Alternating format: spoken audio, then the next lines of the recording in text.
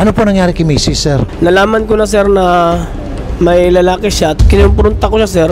Siya pa ang galit. Tapos na hospital ako kasi hindi ko nakayanan sir ba? Tapos humingi siya sa akin ng tawad. Pinatawad ko siya. Nalaman ko ulit sir na may bago na naman siya. Yung pangatlo na po sir yung si Edwin Madridio lahat na pagmamaliit sir. Lahat na pag ano talaga inapakan talaga ako sir ba? Sinabihan ako sir kung may utak ka gawin mo na ay, mapareport mo kami. Ma, mo kami, bilhin. Dapat si Tata, iwanan mo na yung bagong asawa. Ang gagawin po natin, kukontakin po natin ngayon, sir, si ma'am. opo sir At kapag halimbawa ayaw niya makipag-usap sa atin at nang matigas, papadiport natin silang dalawa. Opo, sir.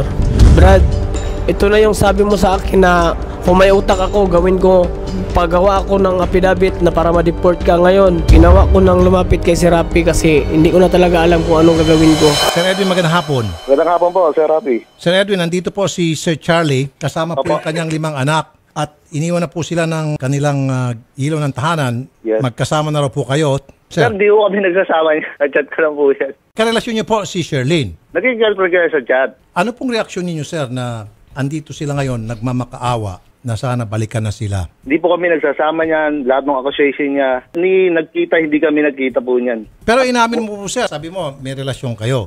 Opo, naging nakarelasyon ako sa chatting. At dahil nga po doon, ayaw nang makisama itong si Sherlyn sa kanila dahil nga po na humaling na sa iyo. Di po ako makakasagot niyan kasi wala na rin po naman kami niyan. Eh. At, at kayo po, Sir Edwin, may asawa kayo, tama? May mga kalibin po ako. Kaso nga po, naghiwalay na kami. May mga ka-live-in, so marami ho kayong ka-live-in. Dalawa po naging kalibin ko. Kanina po sir, sabi ni Sir Charlie, hinamon mo raw siya. Una nilait mo raw daw siya dahil isa lang siyang hamak na mahirap na tao. Sir, Sabi mo raw sa kanya, kung meron kang utak, gamitin mo at ipa-deport mo ako kung kaya mo. Opo, sinabi ko po yung Doon sa hamon mo sir, kung wala kang believe dito kay Sir Charlie, siguro sana bumilib ka sa akin dahil ako kaya kong gawa na papadeport ka. Ito kaya mo hamunin dahil pobre to. Mahirap lang, walang pinag-aralan siguro, isip mo. Makinig ka ha.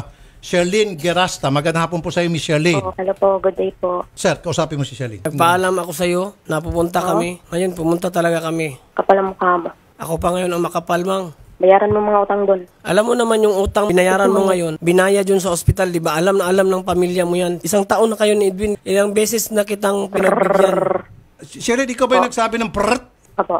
Dada ng dada kasi. Wala nang ano, mga kwentang sinasabi niya. Alam mo ba na pwede ka namin pa-deport at pwede ka namin pa-aresto? Kasi ma'am, umamin to si Edwin on air na karelasyon niya kayo at may asawa kayong pareho. At ito pong conversation natin, ipapasa namin sa Saudi authorities at may kalalagyan kayo.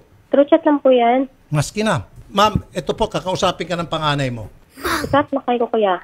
Wala may ugma diha kay dada ninyo. Wala may Dili ko ugma. mang Wala ro kayong kinabukasan dyan. Uwi na kayo kay Papang Victor. Mama Isni. Mahalaga sa inyo. Sabi ko lang ako mag-aabot talaga. Kukunin mo, I'll do everything in my power to make sure hindi mapupunta sa iyo itong mga bata kahit na below 7 years old, kahit nakasal kayo, sapagkat ikaw ay salawahang babae na hindi ka karapat-dapat na mag-alaga ng mga bata. True chat lang po yan. In fact, chinat ka pala nitong anak mo. Pinapipili ka, pinili mo yung si lalaki. May konsensya ba kay madam? Ito, yung bunso niyo, meron. umiiyak oh. Narinig mo yan, ma'am? Umiiyak yung bunso mo? Narinig mo yan? Ipinapaiwan ko yan sa mama ko. Ayaw naman niya. Lahat, dinala niya lahat. Edwin, Yes, sir. kausapin mo si Charlie.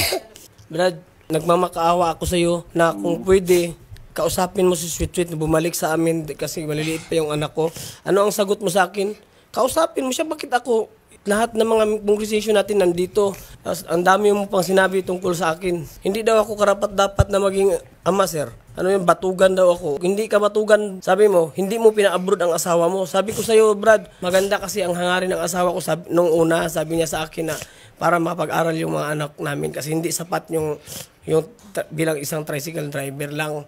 Tapos pinayagan ko ang asawa ko. Hindi yan dahilan na isa akong batugan, Brad. 13 years kami nagsama ng asawa ko. Mr. Arnel Ignacio, Deputy Administrator ng OWA. Rafi, hindi na kita babatiin ng magandang hapon ha, kasi nanggigigil ako dyan sa naririnig ko eh. Total naman, naghahamon yan. Kahit ngayon pa lang, tatawag ako doon, pahanap ko yung dalawang yan. Sa dami ng kaibigan ko doon, hihingan ko ng tulong lahat yun. Silang dalawa, mawawala ng karapatan na maghihirap sila. Kaya nadadama yung ibang OFW natin, Sir Rafi, eh, sa mga ganyan eh. Ang tapang-tapang lang, pag nahuli sila dyan sa Saudi, sasabihin nila na naman, kawawa sila. Salamat po, Sir ko, ha? ah. Thank you po. Thank you po, Sir Arnel. Micheline, Paano yung mga utang namin? Pag nakulong ka, huwag ka mag-alala kasi ako na pong sasalo dito kay Charlie. Ang importante dito, makulong kayong dalawa. Ready ka na bang makulong? Hindi. Sir Edwin, Yes, sir. Ayan na mo mismo yung OWA na nagsabi na makukulong na po kayong dalawa, sir. Hindi pa ako handa, sir. Tatakot ako hindi ko maintindihan. Eh buti ka pa nga sir, natatakot pero itong kabit mo hindi natatakot eh, matapang pa. Sir, matagal na yun, sir. Maski na, inamin mo na may relasyon ka sa isang may asawang tao, ayaw ng Saudian. Sir, kausapin mo si Shirley. Nung umalis ka, sinabi ko sa'yo, mag, magbabagong buhay na tayo talaga. Daghan po babae. Paano ako makapagbabae? Wala nga akong pira, magbabae pa. Miss Sherlyn, huwag niyo pong baliktarin. Kausapin ang panganay. Anong gusto mong sabihin? Hindi daw, sir. O kita mo ma'am, sabi ng anak mo, ayaw niyang makulong ka. Ang ginanti niya, po yun. awa pa rin sa'yo. Po. Salamat po, Miss Sherlyn, sa time na binigay niyo sa amin. Ano po? At salamat po, Sir Edwin. Good luck po sa inyong dalawa. Ganitong sitwasyon ngayon. Depende kung anong pag-uusapan niyo ni Charlie. Kung magkakasundo ba kayo o hindi. Hello, sweet. Ano gusto mo? Wala kang awa. Kulong mo ako. Kahit tingnan mo sa message ko sa'yo, nagmamakaawa ako sa'yo ba? Ayaw ko na sa'yo. Mga batay iniisip ko. Sige, tapang ka pa rin eh. Kala mo yung engineer-engineer mo ha. Sige, magpapile ako ng complaint para sa inyong dalawa. Sa lahat ng mga sakit na ginawa nyo sa akin. Ah, ayaw ko sana na mag-file kasi naawa ako sa'yo. Hanggang ngayon, taas pa rin ang tingin mo sa sarili mo at napakababa pa rin ang tingin mo sa akin. ko, ayaw ko na Oo nga. O sige, magsama kayo. So, trapo na. Pa-doktor nga kaya natin to. Baka magkanyumod niya ito eh. Pag tuloy-tuloy. Lahat sila. Eh, oh, nagka, oh, naku, lahat na nagkaubo-ubo na. Samahan nga natin ngayon sa, ano, sa St. Luke's. Ida mo sa office tapos sa St. Luke's. Kuha ng budget doon. Yung ididemanda na natin kasi ayaw patawarin ni Sir eh. Punta natin kay Arnel Ignacio para pailan na ng kaso. Totoo ba itong nagpasa sa akin, nag naglaslas eh, sir? Sir, oh. Oh, man. Tawagan mo, sabi mo, hindi na natin iano.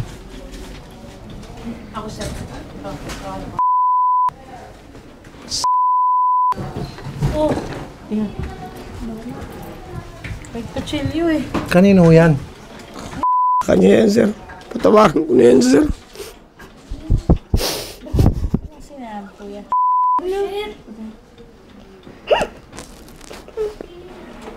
Ano po? Ha?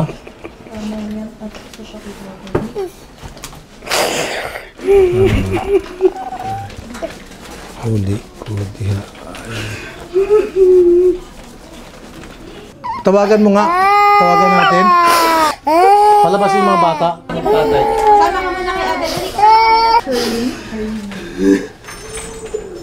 Sinabi pa niya kanina yun? May. Sinabi niya sa akin kanina nung pagpunta ko sa radyo, sabi niya magpapakamatay na ako. So I thought she was just kidding. Hello, ma'am. Kumusta ka dyan? Ma'am. Sherlyn. Ah, kailan ka ba uwi dito? Ha? Kailan po matapos yung kontrata niyo, ma'am? April? Ma'am, ano po yung pinadala niyong ano na meron kayong sugat sa kamay? Ano yung anong anong nangyari? Okay. Kausapin ka ni Mister. Okay lang sa amin na hindi ka na babalik sa akin. Basta gusto ko, uwi ka na lang.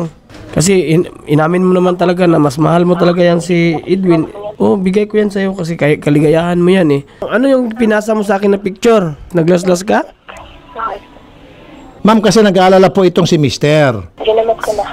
Ah, ginamot mo na. Ma'am, meron po kayong limang anak. Yung pagpapakamatay, isa pong sinyalis yun na kayo po ay isang selfish na tao. At takot to kayong harapin yung katotohanan. Ayaw niyo pong dumanas ng kahirapan. Gusto mo lahat pabor sa'yo. Paano naman po yung mga anak mo?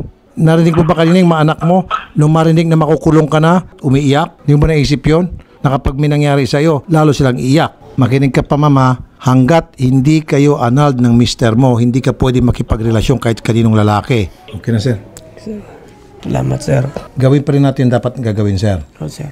Pa-deport pa rin natin. Opo, sir. Ah, ngayon, wala kayong pamasahe. May 90 pa ako dito, sir. Ilang araw ka na ba hindi napapasada? Nung nagkasakit kasi yung anak ko, sir, eh. Tatlong araw yata, sir. Bukas, wala kang gastos ospital, gamot, injection, kung kinakailangan, akin yun. Opo, sir.